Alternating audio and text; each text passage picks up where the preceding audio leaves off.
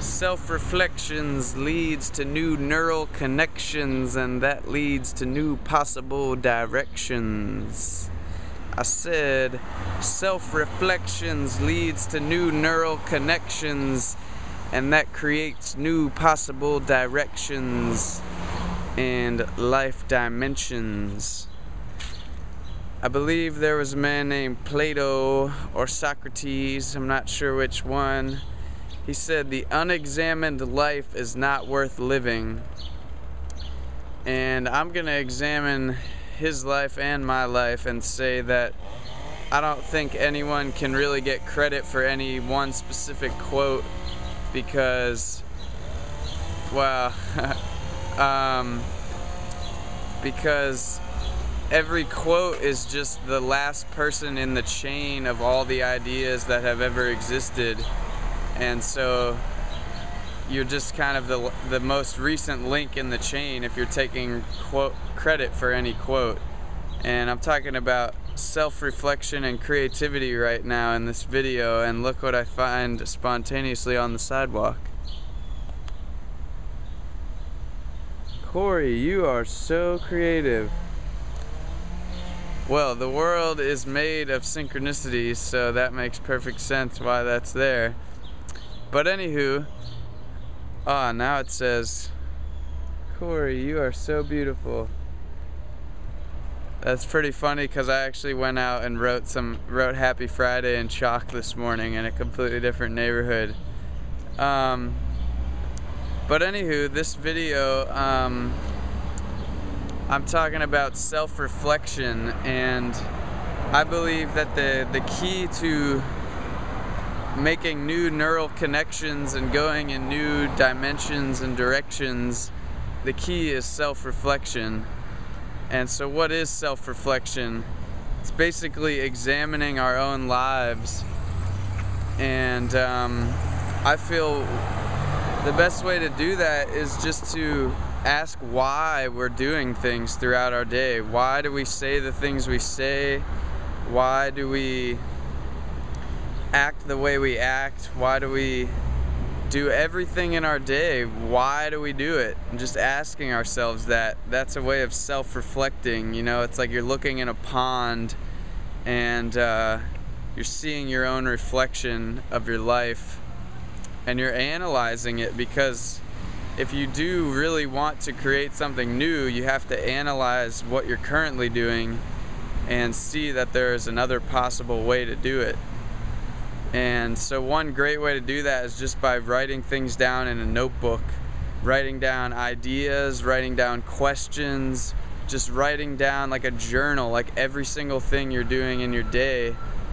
And then at the end of the day, just kind of ponder why why you chose to do those things.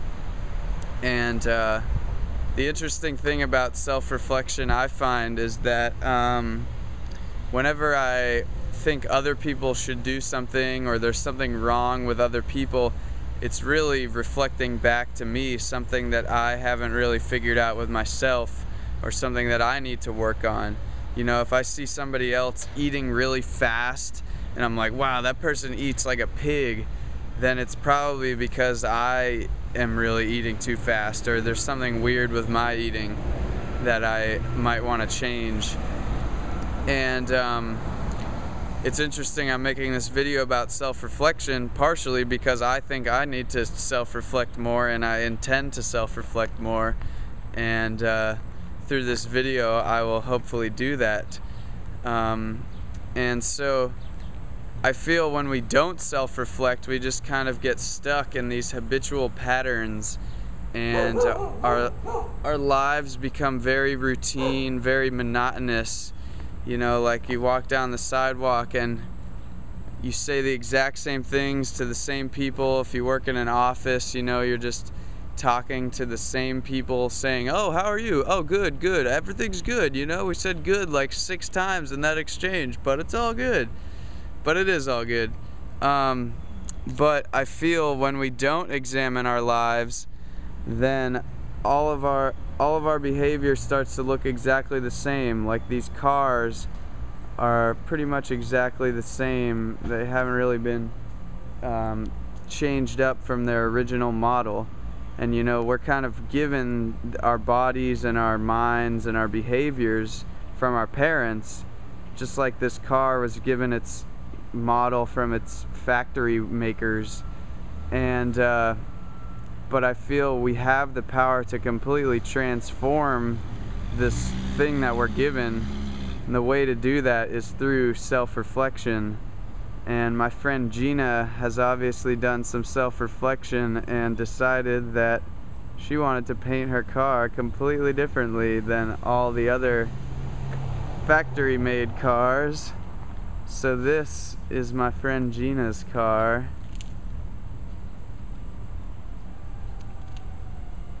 so friends every day do something that does not compute that is a way to change your own life and get out of habitual patterns. Do something that does not compute.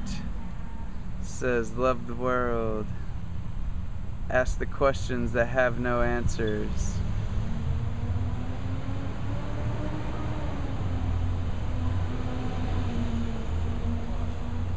This car just inspires me so much. I come by here all the time just to see it and it's just an example of the potential that every single being has to completely transform from the way that it started and just become something completely new.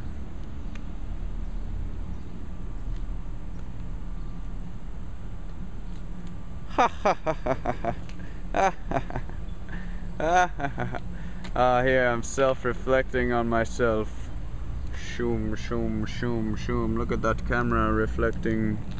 There's you in there. You can see you. Shribbling. Oh, we gotta check out the roof. The monkeys, the birds, all having a beautiful time. This is have a grateful day. And yeah, one easy way of self-reflecting is just saying all the things you're grateful for, you know, counting your blessings. And to close, let's read the poem, or I'll let you read the poem because I talk too much.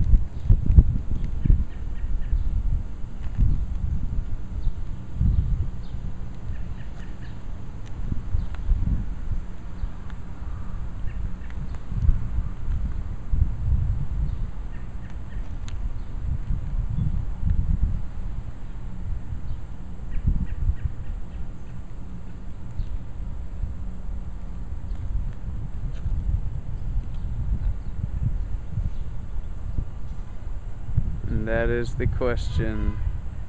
Peace and love.